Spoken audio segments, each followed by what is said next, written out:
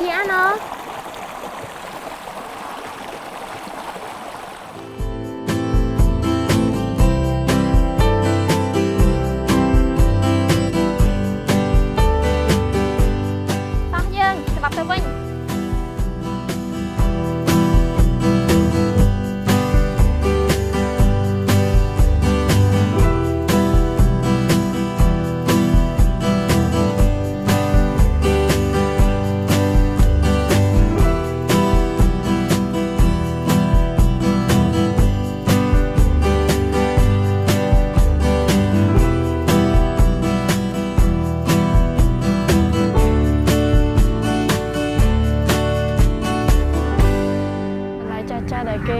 បេះចោលនៅក្នុងរោងបន្លែហ្នឹងគេយកមកឲ្យកសិដ្ឋានចិញ្ចឹមទាអូល្អតាបេះអឺយកបន្លែទៅលក់បានហើយបន្លែដែលនៅសល់បានយកមកឲ្យសត្វធ្វើជាចំណីទៀតចា៎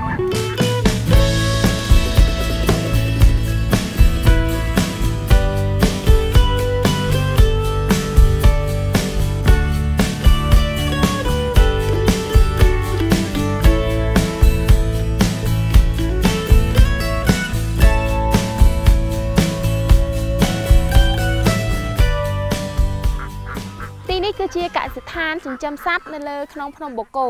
ហើយសត្វដែលគេចិញ្ចឹមរួមមានដូចជាទាកង្ងានមាន់ព្រាបជាដើម ការចិញ្ចឹមអឺសត្វទាំងនេះគឺមិនមែនដើម្បីយកសាច់ឬក៏យកអឺពងទេគេគ្រាន់តែចិញ្ចឹមដើម្បីអឺសម្រាប់ជូនភ្ញៀវទស្សនាកំសាន្តនៅពេលដែលគាត់បានអញ្ជើញមកលេងភ្នំបូកគោហើយនៅពេលដែលពងមកអឺគេយកពងនោះទៅភ្ញាស់ជាកូនថែមទៀតដើម្បីឲ្យមានកំណើនសត្វនៅទីនេះកាន់តែច្រើន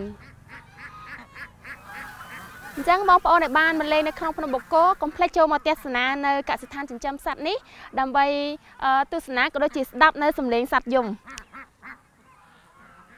ព្រោះ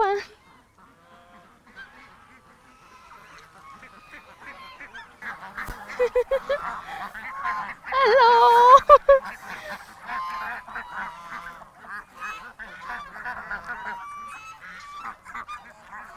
កាប់កាប់កាប់កាប់កាប់កាប់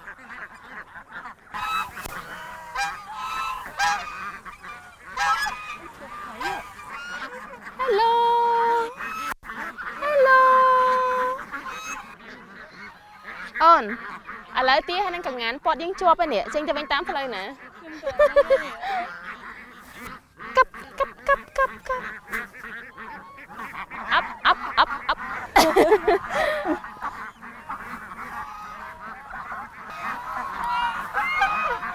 អូអានោះអានោះអីគេសបល់ស្អាតជាងគេខូចគេ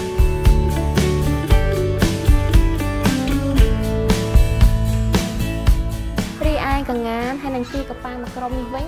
គឺគេកំពុងឲ្យសងំពង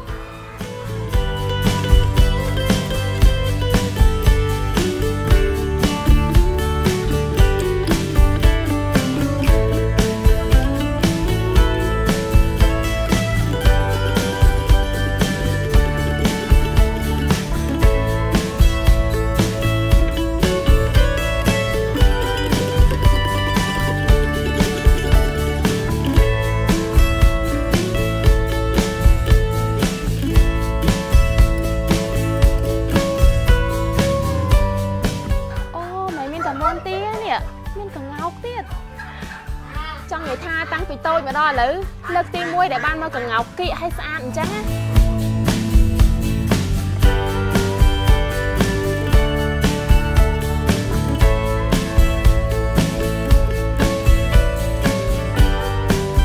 ហើយខាងនេះគេហៅមន់តូមើលរៀងគេ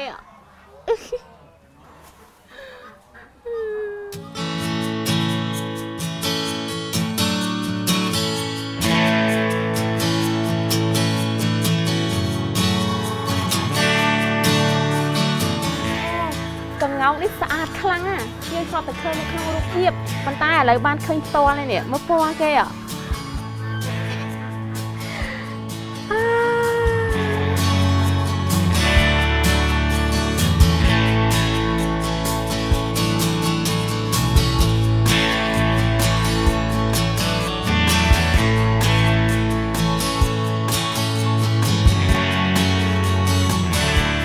្ចឹងកុំភ្លេចណាបើសិនជាបានមកកំសាន្តនៅលើភ្នំបូកគោ កុំភ្លេចចូលមកកសិដ្ឋានចិញ្ចឹមសត្វដើម្បីទស្សនាសត្វមានកងានមានមួនមានទាមានមាន់តោអ្វីដែលសំខាន់គឺមានកងោកដ៏ស្រស់ស្អាតនៅចំពោះមុខនេះខ្ញុំកងោកគឺជាប្រភេទបក្សីដែលមានពណ៌ឆោមលោមស្អាតណាស់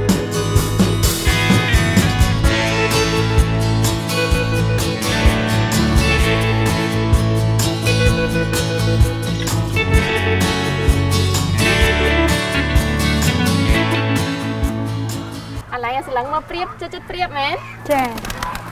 អូព្រៀបនៅនេះចង់និយាយថា មានមៀតធំធំហើយមានពណ៌ស្អាតស្អាតណានេះ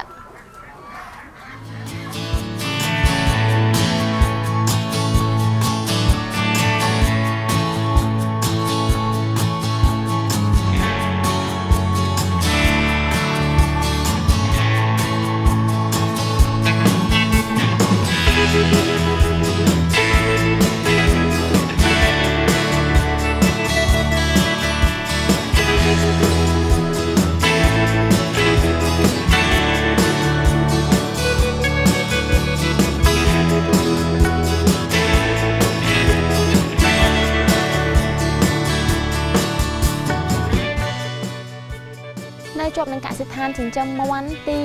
ហើយនឹងកងានឬក៏កងោកមិញហ្នឹងគឺក៏មានកសិដ្ឋានមួយទៀតដែលចិញ្ចឹមជូកព្រៃហើយទស្សនិកជនអាចឈានចូលទស្សនាបានប៉ុន្តែមកទៅរៀមលោបលោបតិចពួកអីជ្រូកព្រៃតែពេលឃើញមនុស្សគឺរត់ទៅនេះនៅពីក្រោយក្រោមនាងខ្ញុំសុខភាព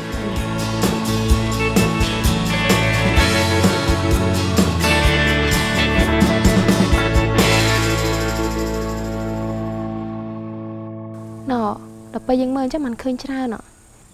ច្រើន មានជាង500ក្បាលនៅនេះអូណូមើលជ្រូកមេគេបដាកូនណណ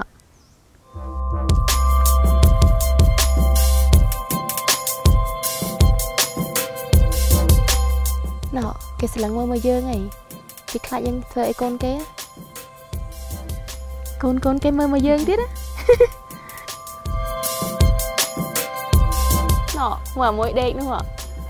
មកគេឡើងដូចខ្លាក់ខ្មុំមកឡើងខ្ជូតមកមកគេបាមកនេះមើលមានច្រើនណាខាងកសិដ្ឋានគេប្រាប់ថាសរុបទៅមានជិត500ក្បាល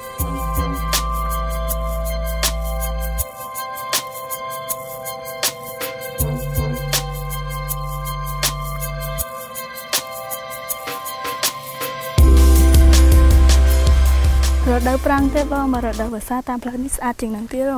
អត់ទេរដូវប្រាំងក៏ស្អាតដែរនេះមើលដើមត្រែងឯងឡើងស្អាតមិនត្រឹមតែស្អាតទេអឺថែមទាំងយកមកធ្វើជាអំបោសទៀតហ៎ដាច់គេហៅដើមអំបោសហ្នឹងមែនខ្ញុំអត់ដឹងដែរខ្ញុំហៅតែដើមត្រែងស្អាតដែរក្រុមហ៊ុនសុខាតែលមាន គម្រោងលំនៅឋានបរិយឈ្មោះបរិយអមរិតឋានសួគ៌ស្ថិតនៅលើភ្នំបូកគោបាទហើយបរិយនេះមានចំនួន4240ឡូ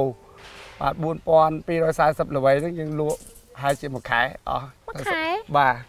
ប្រជាពលរដ្ឋទាំងនៅខេត្តកពតទាំងនៅភ្នំពេញឬក៏នៅទូទាំងប្រទេសគឺចាប់ផ្ដើមចាប់អារម្មណ៍ហើយ ទិញលឿនលឿនបាទលឿនមែនតើចាគម្រោងដែលបងបានជំរាបជូនមិញហ្នឹងជាគម្រោងដីឡូឬមួយក៏ជាលំនៅឋានគម្រោងនេះជាគម្រោងលំនៅឋានប៉ុន្តែចាប់ដើមដំណាក់កាលទី1យើងលក់តែដីសិនទេបាទដល់ដំណាក់កាលទី2ឥឡូវនេះចាប់ផ្ដើមសាងសង់ជាអគារអញ្ចឹងដីឡូហ្នឹងក៏គោលបងរំលោះដែរនឹងប្រជាពលរដ្ឋដែលមានលុយល្មមល្មមអាចបងរំលោះរហូតដល់រយៈពេល10ឆ្នាំ មុនដំបូងគឺទិញដីឥឡូវដីគាត់ទិញអស់ហើយដំណាក់កាលទី2នេះគឺ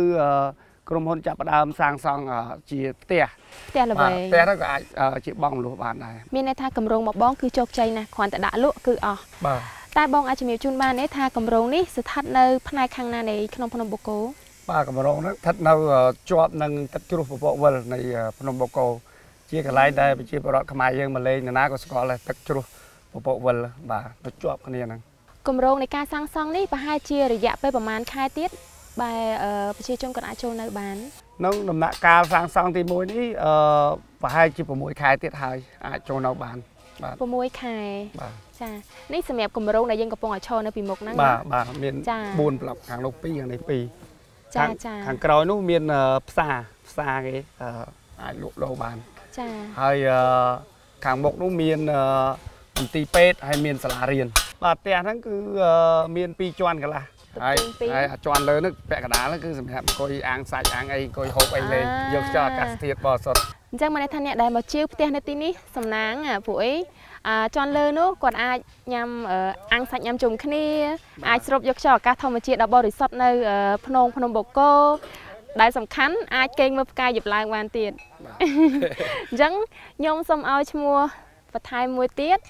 បុរីអមរិត ហើយថែមទៅជាបុរីទេសចបររិទេសចរបាទ